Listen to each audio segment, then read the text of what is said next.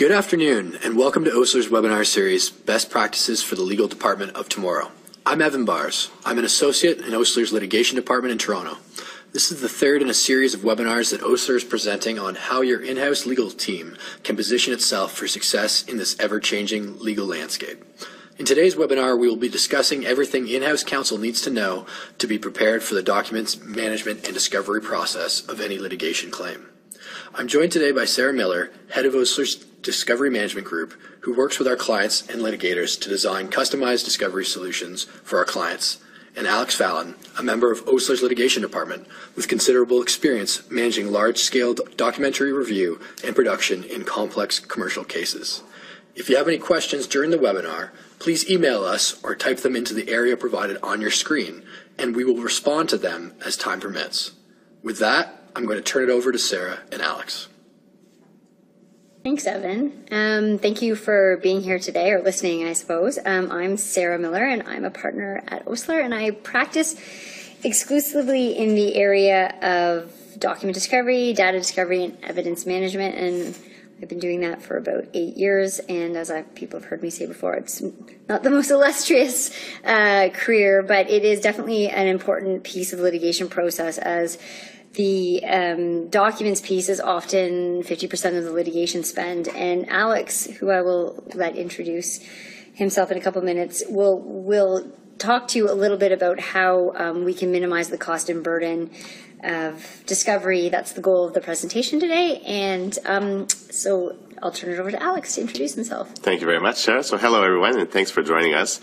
My name is Alex Fallon, and I work in our litigation department in our Montreal office and uh, have had uh, on several occasions the benefit of uh, seeing Sarah's team at work and uh, the efficiencies that uh, having a specialized uh, document management team within the law firm has has has benefited our clients. And so I am very happy to share some of what we've learned through this practice with you today. Okay, perfect. Thanks, Alex. So. Slide two, um, we're going to talk a little bit about the e-discovery process. And for those of you who are aware of this, I apologize if this is repetitive, but I thought it might be good to anchor our discussion of sort of pitfalls and tips or tips and traps um, within the context of this model, because the model really is a description of the e-discovery process, your standard sort of project, e-discovery project. Um, and we call it sort of the Bible of e-discovery. But anyways, on the left-hand side, you have information governance, and that's before litigation or regu- a regulatory review comes knocking on your door and you need to produce your documents. So information governance really it really deals with how an organization um, manages, stores, and disposes of its data prior to litigation. Um, then you move on. Litigation is now dropped, or the regulators come knocking, and you have to produce documents to uh, the identification phase. And with the identification phase, this is where you work to identify sort of sources of relevant documents, documents that the other side expects you to produce that the regulator has asked you about. Um, moving on from identification, um, once you've identified your documents, you have a legal obligation to preserve them. Um, and we're going to get into document preservation a little bit. Alex is going to talk about his experience with legal holds. Um, once you've preserved documents, then uh, you typically collect them. I mean, it's a fairly simple process, but you actually you know take the documents from your your records, your IT uh, architecture, and you give it to your lawyer or a vendor. Um, after that, uh, you process the documents or data. So what processing is is it's taking the you know the hoard or mass of data that you've collected. If you can imagine, you know hundreds of thousands of emails, Excel files PDFs, what have you. And processing is a process whereby you convert it into something that's manageable, reviewable, taggable, searchable, and most importantly, from my perspective, something that you can apply analytics to, so that you can do some um, data analytics to really get into the what's in the data and take a look to find the relevant stuff. And then at this phase two, there's a legal review. That's where lawyers, you know, um, go through the documents, try to figure out what's important, what's not, what's privileged. When that's done and you have a set of documents you deem to be both relevant to either the litigation or the regulator's requests, you produce those documents out. And then subsequent to that is a, a, what we call the presentation phase, where you're actually using the evidence at trial and oral discovery, at arbitrations, mediations, what have you. The idea is as you move left to right, the volume of documents that you're handling reduces. So obviously you're going to identify more potential sources of, of relevant data, but what you're actually going to collect and review and handle is hopefully going to be reduced as the process goes through um, using technology. And the relevance is going to increase. And, um, you know, Alex and I have joked about this before with the old adage that, you know, you collect a million records, but really a hundred matter for trial. That's really true in document discovery and I think that's why there's so much been so, been such emphasis on cost containment in this particular area as well, because the cost of dealing with a million documents can be utterly explosive, but really what matters at the end is so little. So your counsel's job is to make sure you get from the beginning of the model to the end of the model with the least amount of burden and the least amount of cost possible. And I hope that we're going to come up with some practical tips today for that. Okay, information governance. I've said this before, but I, I don't, as lawyers, you know, neither Alex and I are really competent to give you much advice as an organization and it's going to be very unique. So I'm not going to give you a bunch of tips about how you should manage your your um, the information within your organization, but I will say that you should think about it. I, I would say that one of the biggest issues I think in litigation preparedness and the costs of e-discovery is that most organizations have not turned their mind to the volume of data they have, where their data is, whether it's been disposed of, who has it. Um, and information and governance is important for so many things other than just lit- litigation preparedness. Like, frankly, litigation preparedness is probably on the, you know, the last on the list of 100 things that matter when it comes to your information. Obviously, understanding where your information is and being able to use it is important for just basic, basically running your business and business intelligence. But it's also important for things like data security and privacy there's so many like ripped from the headlines cases where we're seeing data breaches and frankly the more data you maintain and where uh, and the fact that you don't know where it is is really it lends itself to that type of situation where you're having um, data breaches and what have you. So i would encourage all of my clients to um, be interested in information governance. How can you create organize and store, dispose information in a way that, you know, promotes the behaviors you want within your organization. Now, specifically information governance for lit- litigation preparedness, I would I'd focus on two things in this: data mapping and data retention policies and processes. Data mapping is really just a fancy, fancy way of saying you as in-house counsel, it would be a wise idea in my mind to simply sit down with your IT group and ask them questions about how their IT, the RT, IT architecture works and how data is created, stored, de- de- deleted in your organization. Very simple things like how does our email work? Do we keep email forever? Do we delete email after a certain time frame? Do users or is deletion of email up to users? Do users use other forms of chats, like chat functions, like internal office, Skype, what have you? Do they use texting on their on their iPhones, that type of thing? Do are they? What happens to employee data when the employee leaves? You know, is their computer wiped? Do we save a copy of their email? Who has it? Um, where do we save loose electronic files? Do we use SharePoint? Do we use Dropbox? Do we just save it on the network? All stuff like that is just very basic questions uh, to understand where data is kept, who keeps it, and how it's housed, and whether it's disposed of. Those are things that we, you know, at Osler, we keep a list of questions that we would recommend you asking your IT group. We can, we'd be happy to furnish that to any client. It's really just sitting down with the IT group for 45 minutes, maybe once a year, just to find out where this stuff what's happening with this type of thing. And I think it's really, really important. It's really great when we start a litigation project with a, um, a client and in-house counsel knows where this stuff is. It actually really focuses the conversation and it eliminates often several hours of meetings with, with IT or in-house counsel or what have you in order to sort of map this out while we're in real time trying to deal with litigation.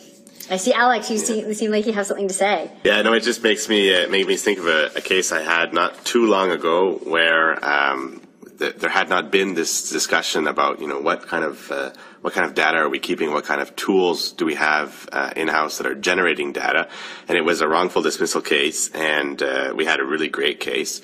Uh, and we had done, you know, Or so, you, the- or so you thought. or so we thought. We had done the, the document review email. Everything was fantastic. All our ducks were in the row. And then somebody lifted their hand and said, what about the chat function? And it would, became apparent that not everyone within the organization were aware of the fact that there It's was not, this I'm, chat not, I'm not laughing at the poor client, like, what are the chat functions? Yes. Oh. And so it turns out that uh, there was a lot of relevant data on the on the chat thread that uh, that many people were not aware of, and uh, and that was not so good. And we ended up having to settle that case on on Yeah. unfavorable So you went terms. through all this cost and expense, and really the crux of the case, you know, you could have gotten to it if you'd gone to the chat function. First. Exactly. Exactly. And I think you and you and I've talked about this before. Like, I oftentimes will, the client says, "Well, I've got some Bloomberg chats." Again, like in an insider trading case, nobody thinks to talk, ask about the Bloomberg chats. Everyone's going through the email, so it's important just to to know this because it really can change the face of a case once new evidence pops up. And- Yeah, and it raises the question, you know, if you have multiple tools like that for communication, you know, are you an organization that needs a chat function? And if the answer to that question is no, well then why why is it accessible within your organization? Maybe it's a time to, to think about shutting it down because it, it's, it is a source of risk. And especially since people tend, as you and I talked about this, people tend to speak informally on chat. They don't t- use work language per se. They think of it as maybe sending a text personally or offline. And but it's a lot of times it's captured within an organization's records. And I think this segues really nicely into the next topic that we're going to talk. Actually, can you back up, kiddo? Sorry. the next topic: data retention policies and processes. So Alex made a great point. Does your organization need that chat function? Some people might say yes, absolutely. It's how our guys work. You know, we're like a tech shop and we're you know inventing apps all the time, and that's how our guys speak. It's emails for old folks. But I think you know it's uh, it's very difficult for us to, as lawyers to say to you what types of data you need to keep or not keep. That's really something that an organization needs to make a decision about. I will say unequivocally, though, that companies that have well defined data retention processes and procedures, e-discovery is generally cheaper and less burdensome because there's just simply less data there. Um, so I would recommend um, really sitting down as an organization and deciding whether or not you need to have um, the, the the vast amounts of information, whether you need to keep it, whether it be on a file server, whether it be in a chat function, whether it be email or not. And again, that's just something that an organization is going to need to decide, not a lawyer. But um, definitely, um, my clients who keep less email, who keep less loose electronic files, it's just cheaper for them to um, engage in discovery. Now, that being said, you know, you have people who say, well, what if we destroyed exculpatory emails from 10 years ago that showed, you know, that what we were doing was fine? And I, you know, that's a risk, absolutely. Uh, the content of the, you know, what you're keeping or destroying is hard for us to comment on it in a vacuum. But if you're looking at straight up burden and cost, I would say that absolutely data retention policies are something to look into. I would caution people to avoid like written ones, like on a p- paper that they save on the internet that say, you know, save email for seven years, save this for like nobody reads those, no one abides by them. I would encourage retention policies that are less user driven or, you know, your employees control and more that the IT group would control. So limits on how much email you can maintain in your Outlook account and maybe directions on where it should be saved, or maybe it gets deleted after a two-year process, two-year time frame if someone hasn't saved it purposefully. You know, there's all ways that you can control um, the explosion of, of data in your organization that take it out of the hands of users and put it in the hands of IT, where it's recorded, where everyone knows what's going on. Okay, I think we can switch now, Alex. Thanks. All right. So it's the, the theme of the presentation, really. Why, why are we here? We're talking about saving costs. Obviously, there's no way that we can make the cost of document discovery go away, but there are things that we can do uh, to make sure that it doesn't cost more than it should. And really, you know, it, it really boils down at the end of the day to making sure that you have a plan and that you have thought about how you are going to undertake this process. And that can go a long way in, in saving costs. And making sure you adopt a focused approach. You know, at the end of the day, when you when a piece of litigation comes through the door, um, it's about certain facts and it's engaging at all levels of the organization to, to make sure that you understand who has handles on those facts and those are the people who should be the subject of the collection and not other people and the identity of those people can change over time. You may identify, you know, 20 people, but the time frames for each of those persons may be completely different. And so we really need to, at, at the front end, think about um, making a plan and identifying to reduce in the in the aim of reducing the scope of the collection at the end of the day. And the last thing is the importance of really thinking about this up front because it's we see this all the time things that are not anticipated can have an outsized effect. You know, very small things can have an outsized effect on the ultimate cost of the production. I think Sarah is, is in a well placed to give us some some insights on on the types of mistakes that can lead to uh, to costs coming out of control. Absolutely. I mean, I think you know if Alex's point, if you collect information from you know three more custodians than you need to. Maybe you're collecting it from one custodian who, who's, a, who's a data hoarder and keeps everything. You know what I mean? And maybe this guy's marginal. Um, but all of a sudden you're contending with 200 gigs of data that's costing you, you know, $20,000 to process or whatever. So I think Alex is right. It's like, this is the type of area where it's little technical things that can lead to the spiral of costs. And I think that's why it really is important to have counsel who understands um, the cost implications of various decisions you, you might make um, that seem relatively harmless or lighthearted, but are actually quite uh, significant or expensive. And I think Alex is right. The best clients are the clients who care about this process and who are engaged up front. I recognize that clients have competing interests, and in-house counsel absolutely have competing in, uh, interests and I'm sorry, at, uh, competing things that grab at their attention, and um, that not this might not be the priority for everybody. Um, but if you really are concerned about the costs, your, your you know in-house's counsel attention to this is really what will um, will drive costs down because we'll be working together to formulate a plan, and there'll be the liaison between the fact people at the client who know what what, what happened and the timeframes that matter and what have you, and then that, that can be distilled down to us. Too often. I see counsel who's not really interested in this process, and as a result, we end up kind of feeling our way in the dark and guessing, and that always leads to increased costs. So yes, Alex is absolutely on the mark with that. Yeah, so really the easiest thing to do, of course, is to sort of, you know, say, take it out of my hands. Here are the custodians. you know, here's a list of people. I'm giving you all their data for the time frame. That's absolutely the wrong approach in the sense that you, it, it demonstrates that you haven't really gone through what we identify on this slide as the, the, cru- the key steps for preservation and identification. So you really have to make sure that you've focused the sources of the data uh, and that you've done a, a, good exercise to make sure that you know identifying custodians is not enough. A custodian may have involvement for a very small period of time. You need to make sure that you're focusing your collection on that period of time only, and not just on a custodian basis.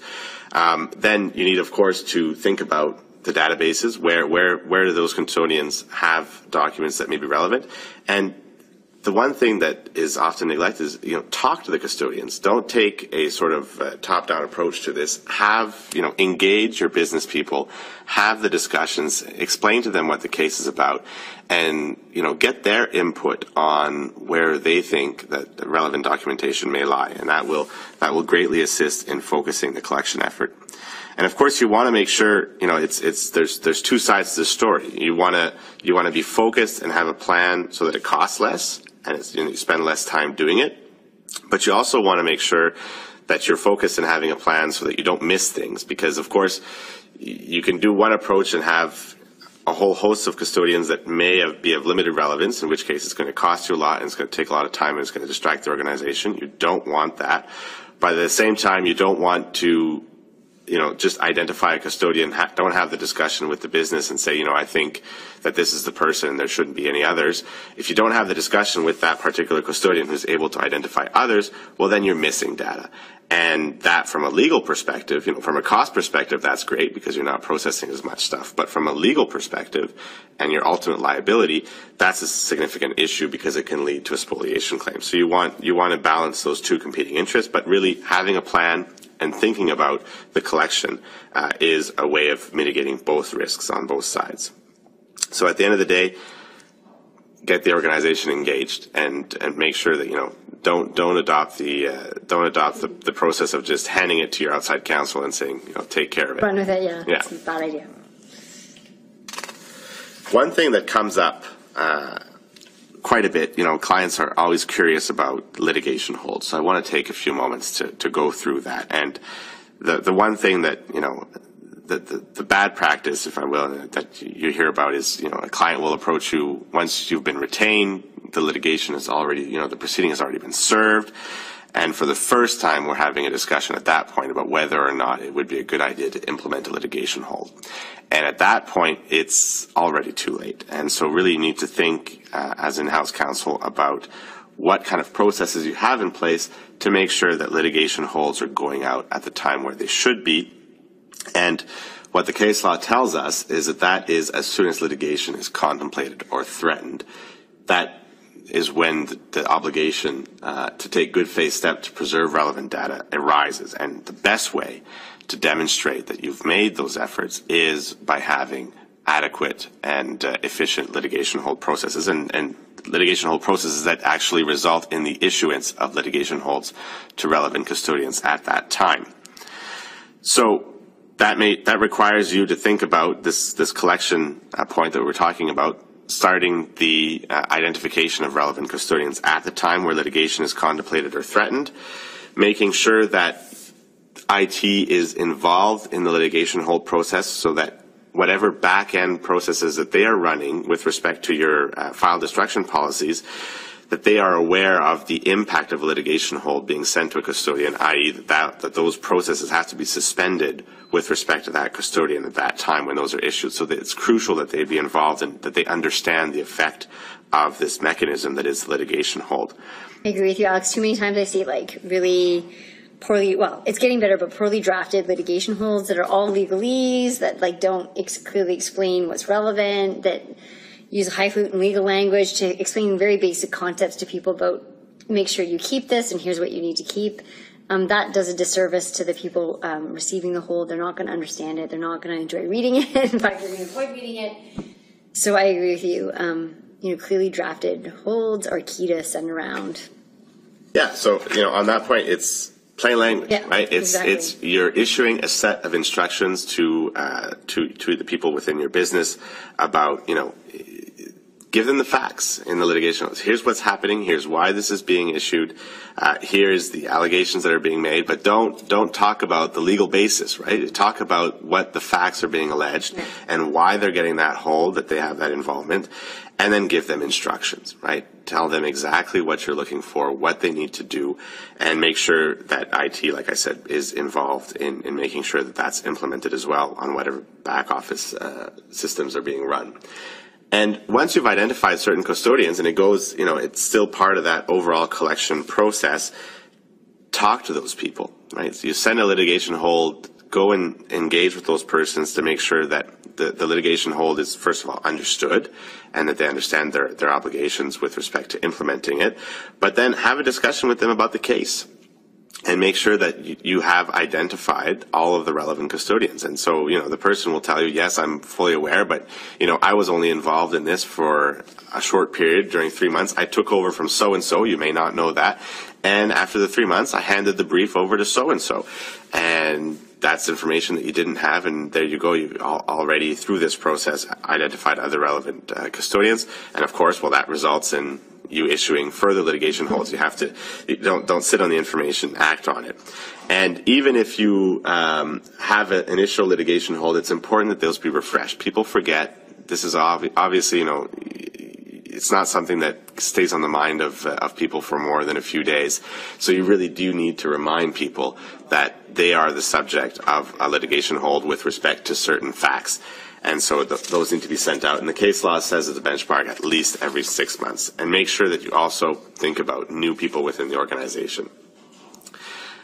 I do want to touch briefly on the situation in Quebec, given that I'm coming from our Montreal office, uh, to reassure you in some respects that the discovery is actually not as bad in, in Quebec as in uh, is in other jurisdictions, and really the idea there is that the, the, there's a conceptual uh, difference in Quebec versus common law jurisdictions with respect to discovery. It's the onus is not on a party to produce all relevant documentation, for example, through an affidavit of documents. The onus is actually on the opposing party to ask questions and to make requests for for specific productions. And so we're in Quebec responding to specific productions, and until the request is made there's arguably not much of a uh, of, a, of an obligation of general preservation of things that could potentially be relevant to a, a, particular litigation. So to counter that, because that obviously can give rise to risks on both sides, it is a very good practice to send out litigation hold notices to the other party. Is that becoming more common, do you find, Alex, in the Quebec bar? Yeah, absolutely. I, I think it's not something that we see universally. I, I think it's uh, definitely a sign, though, of a good external counsel. I'm always, I'm always pleased when I see the other side doing that in the sense that we have a serious uh, opponent on the other side. It's something that, you know, if your counsel is not doing it currently, make sure that that practice changes um, because really you are setting yourself up for a much better argument before the court if ultimately say, you know, we don't have anything that's responsive to this request. Um, if you know that that's not the case, but you didn't make the request in a timely manner, well, that, that you're, you're not in as good a position if, if you had sent a specific hold notice at the very outset of the litigation to inform, you know, here is the types of document that we consider relevant. You know, be advised that we we, you know, we, we're putting you on notice that you should preserve. And if you don't preserve and don't ultimately produce when the requests are made through the discovery process, which comes later, well, that you will make arguments, for example, based on abusive process, and that can be a significant tactical advantage in Quebec. So think about that and insist that your counsel uh, get on board with that strategy if it's not already the case. Thanks, Alex. Okay. So we've talked about identification, we talked about preservation. We're moving on now to collection and processing. So collection, and as I said, this is sort of where the rubber hits the road and the money starts flowing. This is where costs can start to mount if if not done sort of carefully or or with consideration. So I get a lot of questions from clients about okay, so who collects the the data? What now? We know where it is and we know what, what matters. What do we do now? And I would say that for the vast majority of cases we deal with at at a firm like Osler, where it's it's civil litigation, it's you know quasi criminal um, and kind of re- relatively regular regulatory reviews, it's absolutely fine for your IT department to affect collection, assuming you have a reasonable amount of confidence in them and um, they're able to sort of uh, follow instruction and log what they're doing. It's absolutely fine. I don't think that clients need to spend the money to uh, hire collection vendors to forensically image, you know, laptops and make copies of, of servers and what have you. It's fine to use your own um, resources internally in order to affect collection. Um, and so as long as you guys are preserving the integrity of the data, which we have directions to help, as long as you're able to uh, facilitate the, the, sort of the safe transition of the material to Osler or another vendor, it's absolutely fine for you guys to affect collection, and I would actually highly recommend it.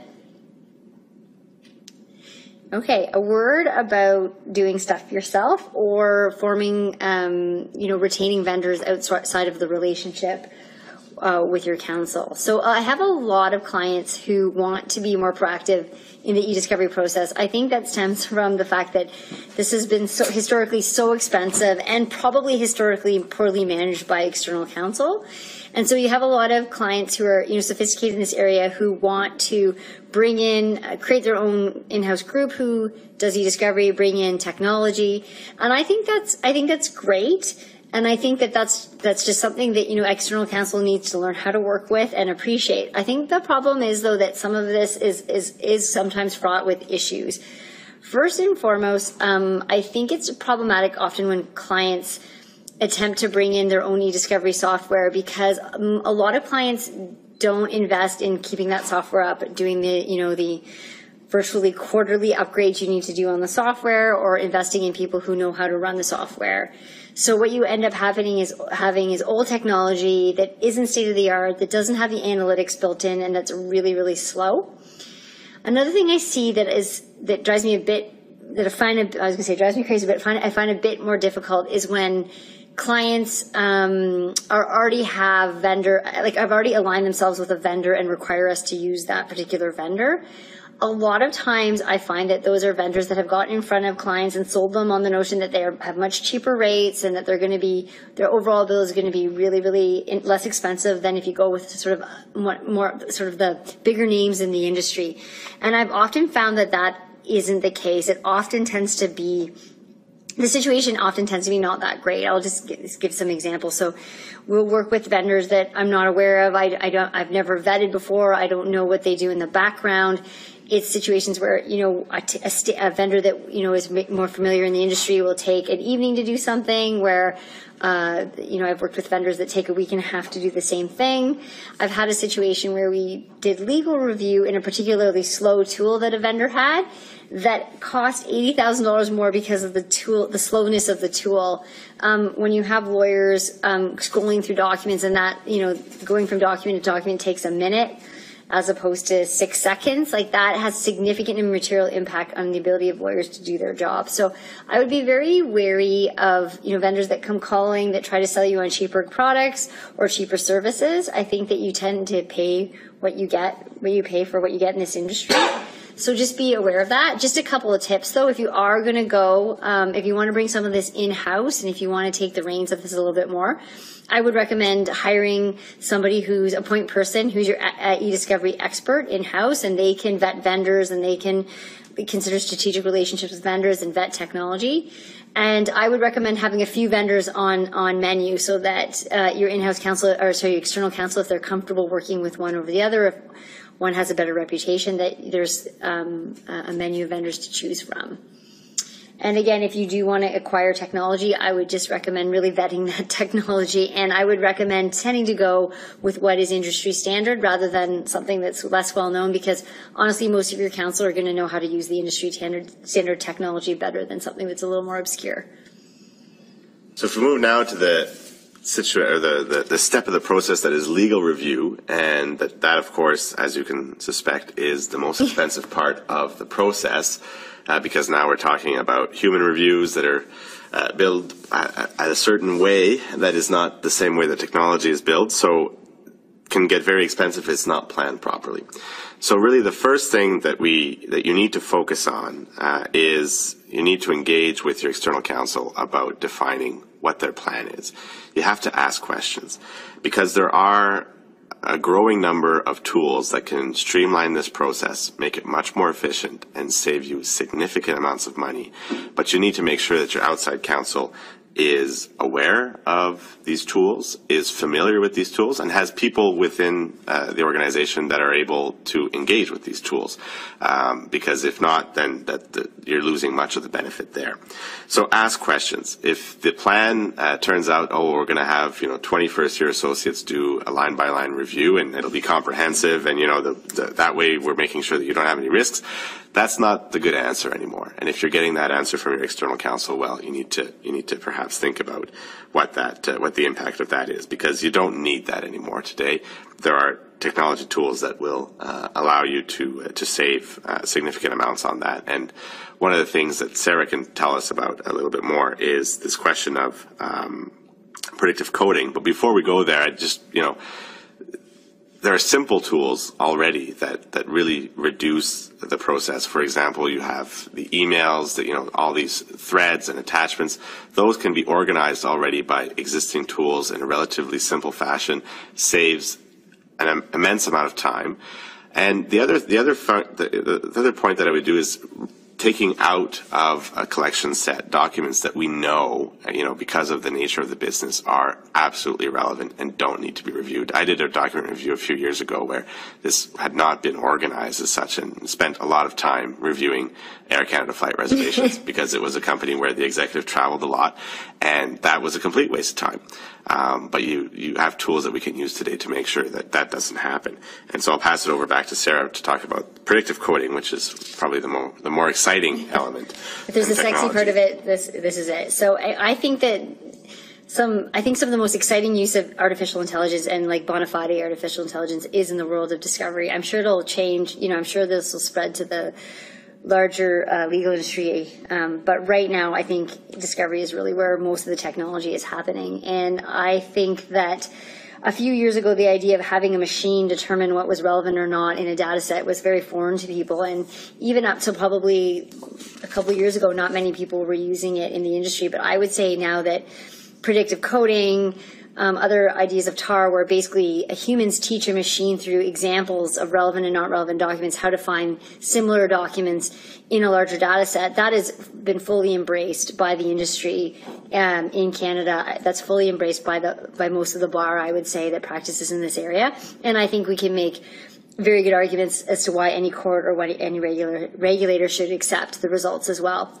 So I think this is really exciting. We certainly use TAR on almost every big project that we've had in the last year and a half to two years to really great it, like honestly, really great results, better results than I was um, expecting. Because of course I was a bit suspicious of this being a human and being done, done doing a lot of legal review in my in my more junior years. But just to give a very brief example, we do a lot of construction litigation here, and this is cases in which you have millions and millions of documents, and we were able to. Um, review. Um, we had a million documents, and we were able to get it down through predictive co- uh, predictive coding process, process to about 250 to 300,000 documents. Um, we the cost to do that, the, predictive coding piece was was eighty thousand dollars, but the return on investment was actually quite astronomical because if you consider even a dollar a document for the million, we would have had to review almost a million documents uh, to the tune of almost a million dollars. Instead, the review cost us probably around just over 300,000. And when we actually went into the data after he had done the predictive coding, uh, the stuff that the, the, the computer had deemed relevant, it actually most of it was actually pretty darn relevant as opposed to using search terms in the past. We're seeing like relevance rates of 50% and even more whereas historically with search terms you know you'd see 10 15 20% relevance if you were if you were doing your search terms well. So i just think this is a really great tool. I think it's going to be used on every single large scale project going forward. Some projects it's not suited for. Um, you know we were talking about how if you only have 80,000 documents and you're looking at about $1.25 a document for review, are you really going to spend $80,000 worth of TAR to get it? Get it? You're going to look at the documents probably or some portion there.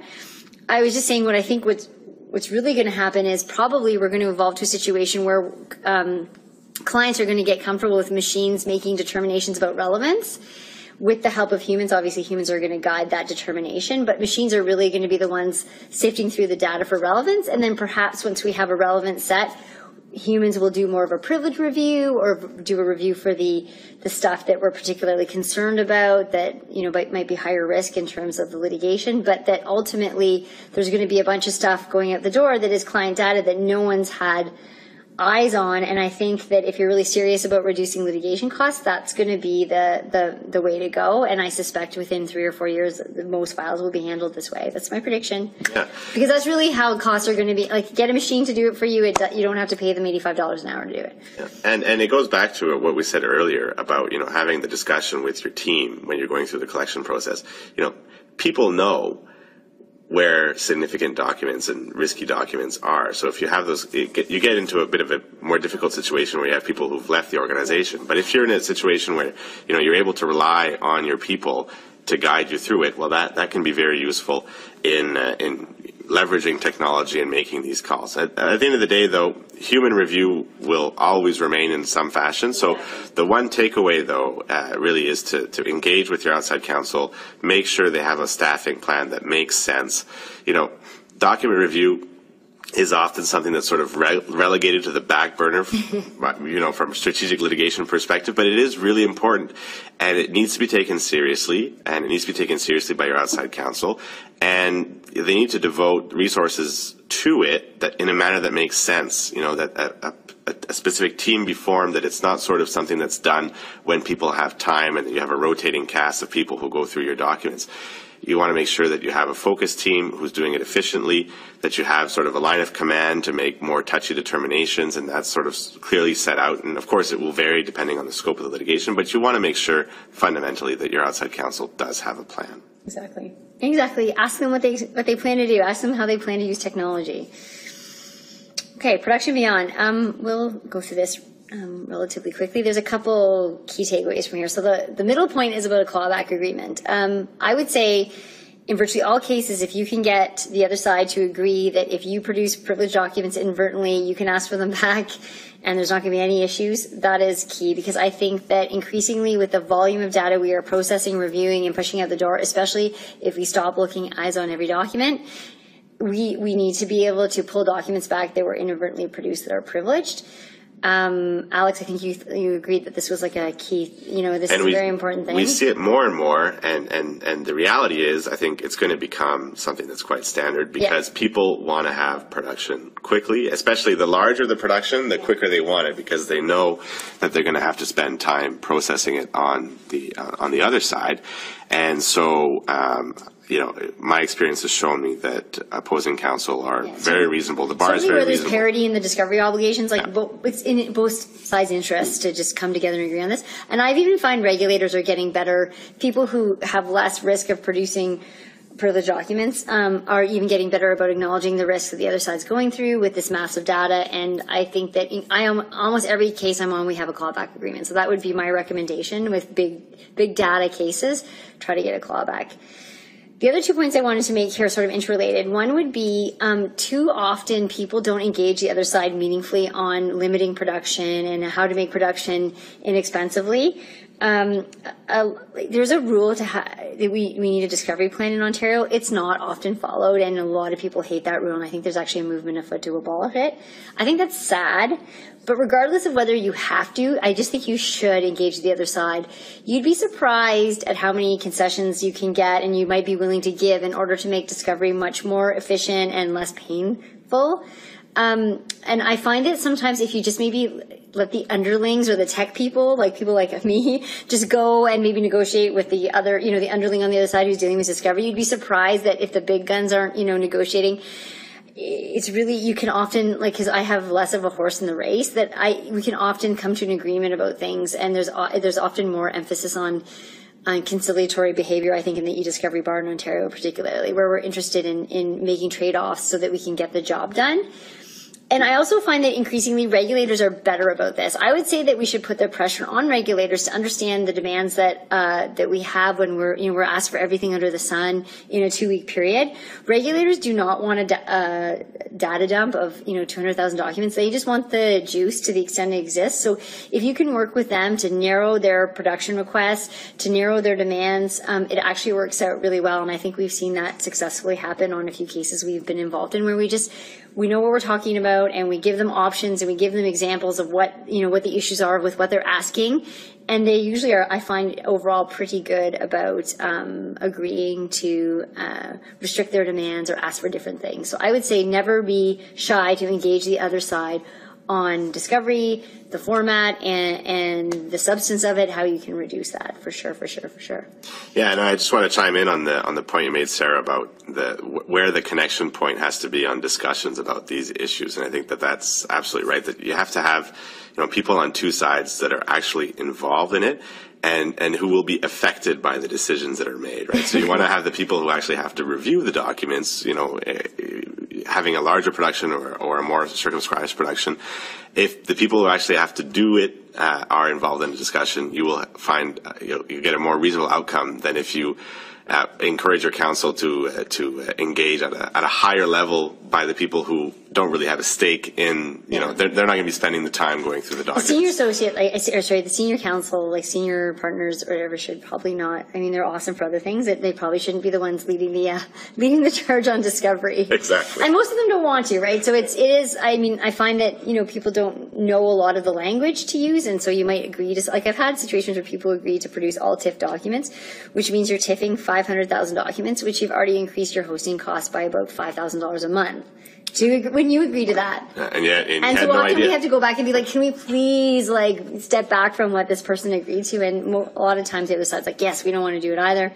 But I do find that it's a little bit of a fun practice to sort of, you know, maybe push this down to people who, uh, like I said, you can kind of couch it like, oh, we're just talking tech.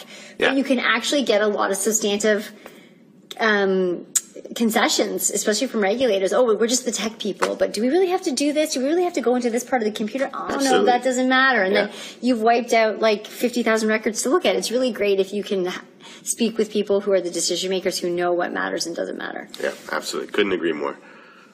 Okay, so we'll go through this relatively quickly because we've been talking at you a lot, and a lot of this we've we've dealt with. So do's and don'ts. Okay, as we said, do understand where your data is, who has it, how long you keep it. That's just basic. We would highly recommend that. That's a starting point and easy to do. Just call up your IT guys and set up a meeting. Take them out for lunch. They'll explain to you where stuff is. consider um, whether you need all the data or all the programs that house data in your organization. Um, again, that's hard for us to speak to as your lawyers. You might absolutely need that chat function Alex spoke of, but in the end, it might not matter. And consider whether or not you want to implement policies or procedures on the back end that manage data, that take it out of the hands of the users and, and put it into the hands of an automated process that is that, that runs every single time and that's documented and then you know from that where data exists or doesn't exist. Have a plan for your legal holds in advance. So Alex talked about how it's like kind of crummy when, you know, six weeks into litigation you discovered no one sent out a hold. I would say even before you are hit with litigation, understand how you would disseminate a hold, how you would re-disseminate it every six months, how would you get acknowledgments back from people that they've read it, and how in fact on the back end you might even implement um, hold processes in place that hold data even without users being able to have any control over that. Build up your in-house capacity. Absolutely do it. I think the best um, way to do this is have a person specialized in e-discovery rather than buying a bunch of fancy tools or aligning with a particular vendor. But, you know, there's different ways of doing it. And um, just caring enough about e-discovery is a good thing to start. Ask for deals from your technology vendor. So rather than, you know, agreeing and locking into like a four-year deal with a subpar technology vendor, you know, have a few technology vendors that you've developed relationships with and then go to the well every time you have a new file with them and ask them for deals. I would say ask them for deals, especially on data hosting. There's a huge markup on almost all technology fees by technology vendors. Um, this is where they really make their money. And uh, I think that they'd be re- willing to um, give you deals because you know they could still make a good amount of profit even if they are reducing what they're charging you. Less so on legal review technology is really where you can um, squeeze your vendors a little bit. Um, ask counsel specifically what their plans are for legal review, and uh, as Alex said, I would ask them specifically what are your plans for using modern day analytics what are you going to do? Are you going to, you know, chain emails? Are you going to suppress emails? Are you going to use TAR? How much is it going to cost me? How much do I expect to um, not pay for legal review as a, as a result of using this technology? What would be my return on investment? And um, I would say try to get the other side engaged in production and reducing the scope of production, especially regulatory authorities. I'm finding that's increasingly um, happening more, and it's a good thing. And uh, clawback agreements. Always, always try to get a clawback agreement in place if you can. And I think the don'ts are a little bit of the other side of the coin of the do's, but we'll just grab a couple of them. And like I said, don't be afraid to use TAR, predictive coding analytics. It's the wave of the future. Um, everyone's doing it, as they like to say, and uh, it's definitely going to be what is on all big files in the next couple years. Don't assume you'll save money by locking into an agreement with a cheaper vendor. I have, I really firmly believe that most of the time you don't. Um, there's other ways in which uh, the cost savings get eaten up, um, mostly because oftentimes their their service isn't as good, or um, your lawyers don't know how to use the technology as as efficiently. And um, again, don't don't not engage with the other side when it comes to discovery. You can be surprised what concessions you can earn and uh, that are helpful to both you and them. And you know, maybe you will walk away both happy over the process, maybe not, but you know, it's you got to try. I would say so. Yeah. So those are the do's and don'ts. Alex, I don't know. You're in the, as I said, you're in the trenches more so than I am, and I get, I'm lucky. I just get to manage the data. So do you have any thoughts based on your practice? Um, any takeaways? Any closing? Uh... The only thing I would say is, you know, we, we obviously nobody enjoys this process, uh, and uh, and we all wish it didn't have to happen at all, but it does. Like going to the dentist. yes, and so the one thing from from a from a practical perspective, just you know, don't close your eyes and hope that it happens. It, it, will, you know, if you send it to your outside counsel and say, take care of it, we'll take care of it. Uh, but you're not going to like the result from a cost perspective and, and the impact that that had on your organization. So, so be involved, uh, ask questions, get your, get your business people engaged. And, uh, and, you know, together we can, we can achieve significant cost savings and make it much less painful uh, than it otherwise would be. I agree. Thank you, Alex. All right, thank you very much, Sarah and Alex. Um, we've already had a couple of questions uh, pour in to you both while this has been going on, so I'll put those to you now. Uh, the first one relates to the involvement of companies' IT department um, and their participation in the document collection process. Uh, a question relates to Osler's practices and does Osler's Discovery Management Group work with the company's IT department to identify relevant documentation, to collect those documents, um, and if that if that process is uh, one in which Osler is involved, what does that process actually look like on the ground?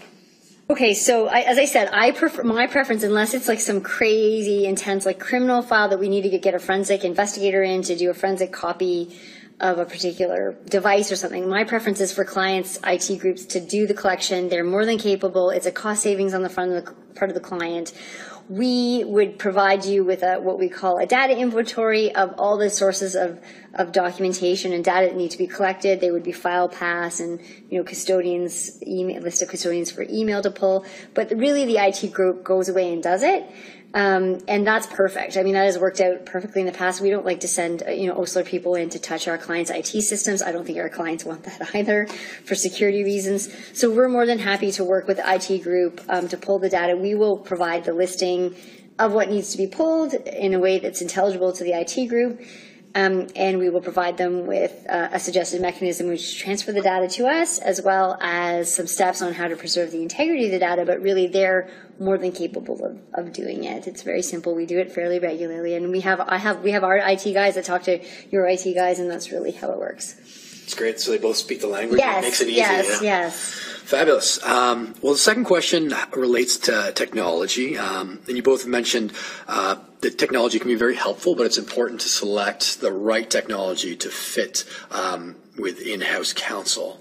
Uh, so, for in-house counsel specifically, are there specific products that you would recommend that they use um, in terms of technology that they implement for their own uh, discovery management needs? So I think a lot of clients, I mean, most clients don't implement full scale e discovery resources. It's astronomically expensive to buy like a Relativity or the latest tool in the market. It's hundreds of thousands of dollars. And you have to have people who know how to run it and who service it and servers to put it on and stuff like that. Only our clients who are the most sophisticated in this particular area have, have stuff like that. I would say what it, what might be good is looking into legal hold technology, which could be an add-on to your to your you know your email system or your servers. Um, you might want to look in techno- to, into technology about disseminating legal hold and, and getting acknowledgments back.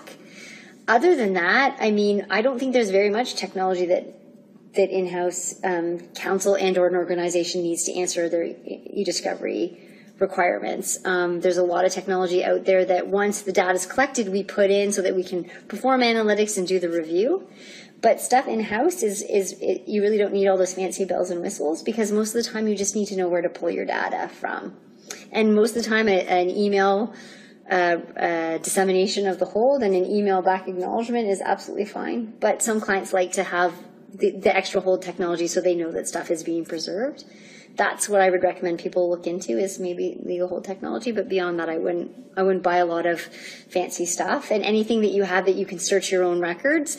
Some clients want to search their own records before giving it to us, and they want to just give us the search results. The problem is a lot of their searching isn't what would be considered 100% valid because it doesn't search all pieces of the file. It might not search you know PDFs that haven't been um, made readable. It might not search metadata. So, you know, I, I, don't, if clients want to use that, we just explain the risks. And if they accept it, then we're happy to use it. But really, once you cross the threshold into searching and analytics, it's mostly external tools that do a better job, like the Relativities or the Ringtails of the world. And that's very expensive to acquire. Fair enough. Yeah. All right. Well, thank you very much, Sarah. It was our pleasure. Uh, on behalf of both Sarah and Alex, uh, thank you very much to everyone for joining us for this webinar. We hope it has given you some useful insights. Make sure you join us for the remainder of the webinars in this series. More details will be posted on osler.com in the near future. Thank you again for attending this webinar and have a lovely day. Thank you, everyone.